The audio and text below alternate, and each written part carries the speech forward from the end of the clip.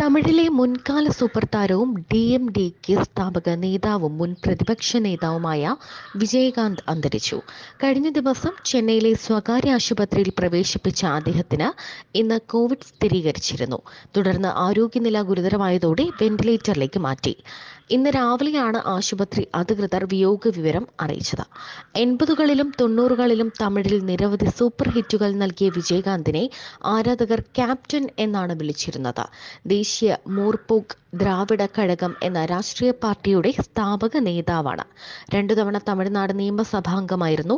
ഭാര്യ പ്രേമലത മക്കൾ ഷൺമുഖ പാണ്ഡ്യൻ വിജയപ്രഭാകരൻ ആയിരത്തി തൊള്ളായിരത്തി എൺപത്തിരണ്ട് ഓഗസ്റ്റ് ഇരുപത്തിയഞ്ചിന് മധുരയിൽ ജനിച്ച വിജയകാന്തിന്റെ ഔദ്യോഗിക പേര് വിജയരാജ് അളഗർ സ്വാമി എന്നാണ്. കെ. എൻ. അളഗർ സ്വാമിയും ആണ്ടാൾ അളഗർ സ്വാമിയുമാണ് മാതാപിതാക്കൾ. ആയിരത്തി തൊള്ളായിരത്തി എഴുപത്തി ഒൻപതിൽ ഇനിക്കും ഇളമൈ എന്ന ചിത്രത്തിൽ വില്ലനായാണ് വിജയകാന്ത് അരങ്ങേറിയത്.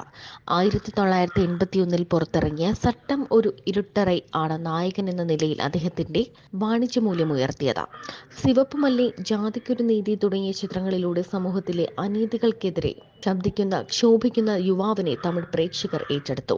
നാടിനെ സ്നേഹിക്കുന്ന നാട്ടുകാർക്ക് നല്ലത് ചെയ്യുന്ന നാടിനും കുടുംബത്തിനുമായി എന്ത് ത്യാഗവും ചെയ്യുന്ന കഥാപാത്രങ്ങളിലൂടെ പുരട്ചി കലൈജർ എന്ന വിശേഷണം ലഭിച്ചു. പിന്നാലെ ആക്ഷനും പ്രണയവും വൈകാരിക രംഗങ്ങളും ഒക്കെയുള്ള സിനിമകളിലൂടെ തമിഴിലെ വാണിജ്യ സിനിമയുടെ നെടുനായകരിൽ ഒരാളായി വിജയകാന്ത് മാറി.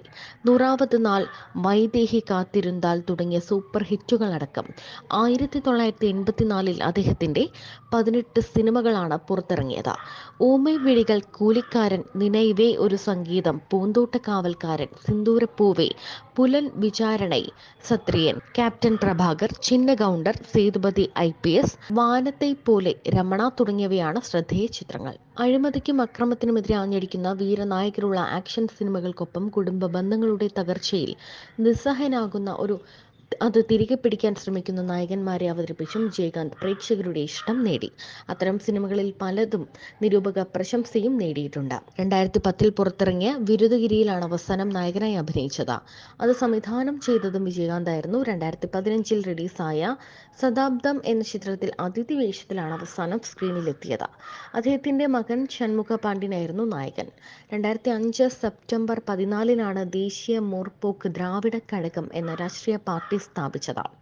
രണ്ടായിരത്തി ആറിലെ നിയമസഭാ തിരഞ്ഞെടുപ്പിൽ ഇരുന്നൂറ്റി മുപ്പത്തിനാല് സീറ്റുകളിൽ മത്സരിച്ചു എങ്കിലും വിജയകാന്ത് മാത്രമാണ് ജയിച്ചത്. രണ്ടായിരത്തി പതിനൊന്നിൽ A I A D M M കെയുമായി സഖ്യമുണ്ടാക്കിയ ഡി എം ഡി കെ നാൽപ്പത് സീറ്റിൽ മത്സരിച്ച് ഇരുപത്തി ഒൻപത് എണ്ണത്തിൽ വിജയിച്ചു.